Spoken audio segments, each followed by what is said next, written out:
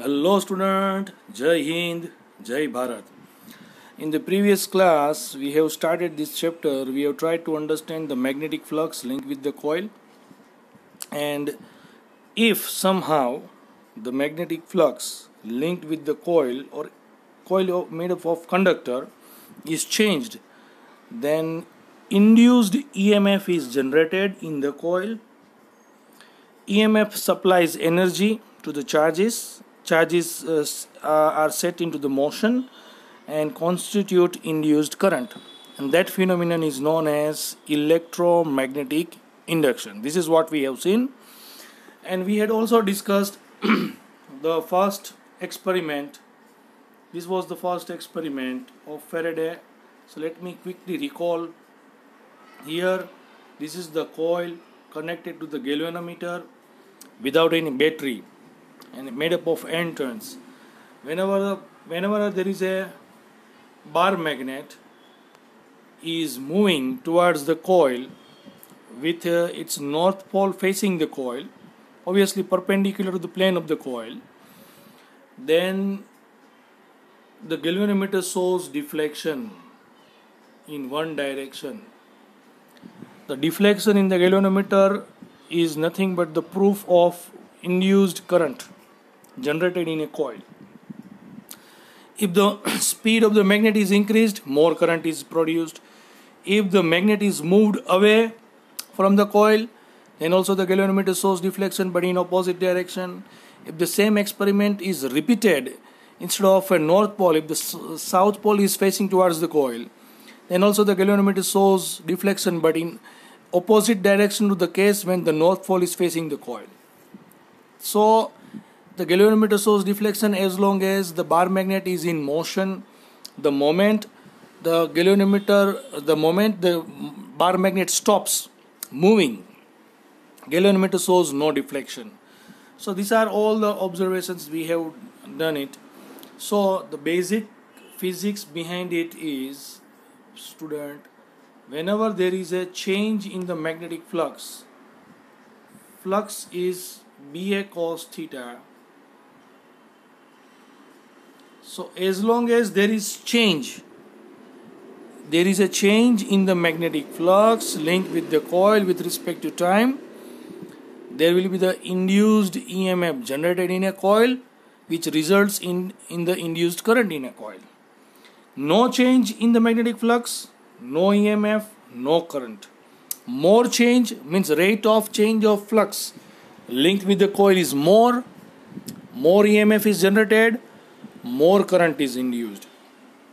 Now today we are going to talk about uh, the second experiment and third experiment of Faraday.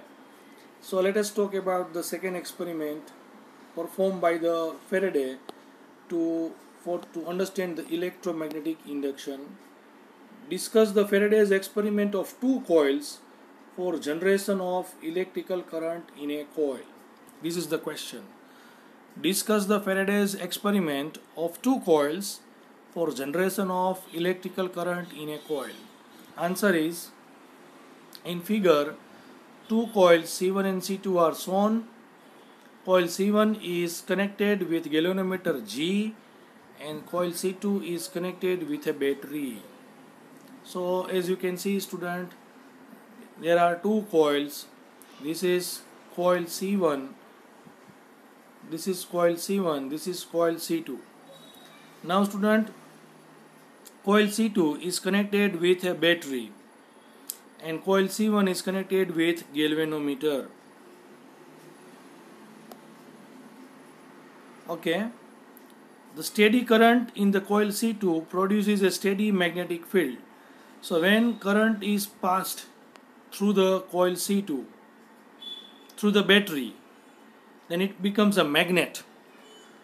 So some of the magnetic field lines may get linked with this coil C1 as you can see here in the figure that some of the magnetic field, field lines may get linked with coil C1 so if now magnetic flux linked with the coil is equal to the magnetic field produced by the second coil that is by B2 area of the first coil that is why BA into cos 0 because the magnetic field lines and area vector of the coil C1 both are in the same direction. So if now the flux linked with the coil C1 changes then EMF is generated in coil C1 which results in the pro, uh, uh generation of induced current in the coil C1 student. So here it is written that when coil C2 is moved away okay uh, I have to explain from the beginning. The, the steady current in the coil C2 produces a steady magnetic field as coil C2 is moved towards the coil C1 the galvanometer shows deflection. So what is the basic physics student? The moment coil C2 is moving towards the coil C1 then the magnetic flux uh, linked with the coil C1 due to the magnetic field of coil C2 increases. Increase or decreases does not matter but change in the magnetic flux linked with the coil C1 is important. That is why EMF is generated in the coil C1 and which supplies energy to the free charges of the coil C1 which which sets charges in the motion which constitute current and galvanometer source deflection without any apparent battery. So here it is written that galvanometer source deflection. So you have to wonder without any battery galvanometer source deflection. No battery is connected with C1 still it shows deflection means current is induced in it so this is the basic physics involved that the relative motion between C1 and C2 in this particular case it is not always required but in this particular case is responsible for the generation of current in a coil. This indicates that the electrical current is induced in a coil C1 when C2 is moved away the galvanometer shows deflection again but this time the opposite direction. So we will understand why every time when the uh, the process is reversed. Direction of electrical current is also reversed. After studying the Lenz law we will discuss why this happens. So when galvanometer when the coil C2 is moving away from the coil C1 then the magnetic flux linked with the coil C1 reduces. So magnetic flux is not important. Change in the magnetic flux important so even though the magnetic flux decreases emf is induced in it and so as electrical current also the deflection lasts as long as the coil C2 is in motion. When coil C2 is kept stationary and coil C1 is moved, the same effects are observed. Again, it is the relative motion between the coil that induces the electrical current. Okay student, now next question in the in this experiment as you can see this is the coil C1 connected with galvanometer, this is the coil C2 connected with a battery as long as battery provides if there is no relative motion both the coils are held stationary the moment the key is tapped then the circuit is completed. Current flows this becomes magnet. Suppose the current is equal to 1 milliampere.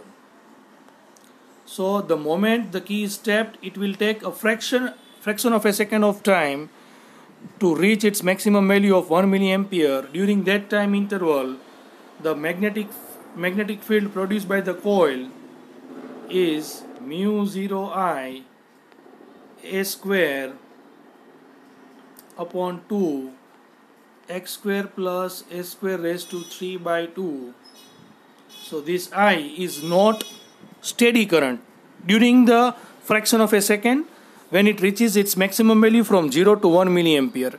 During that time, magnetic field is also not uniform. During that time, the flux keeps on increasing with coil C1. As long as the flux keeps on increasing with coil C1, galvanometer shows deflection during that fraction of a second in one direction. After the current becomes stationary, that is 1 milliampere, the magnetic field becomes stationary. Magnetic field becomes stationary, so magnetic flux linked with the C1 becomes stationary. So galvanometer shows zero deflection. This is zero deflection. This is zero deflection. This is zero deflection.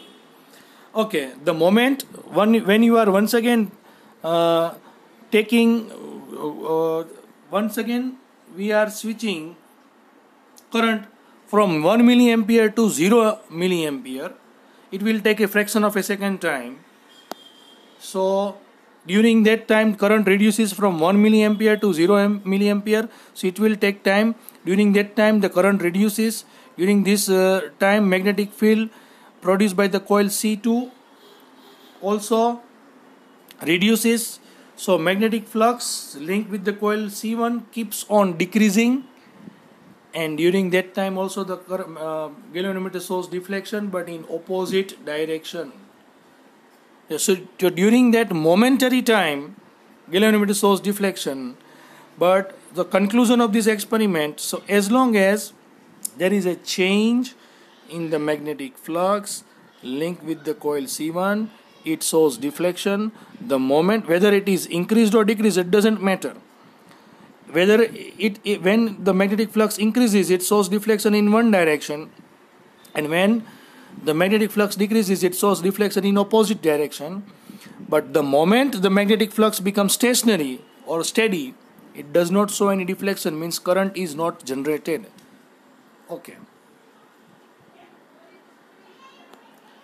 write the results of faraday's experiment performed with the bar magnet and insulated conducting coil so here are the six conclusions of Faraday's experiment. We'll try to understand one by one, concentrate.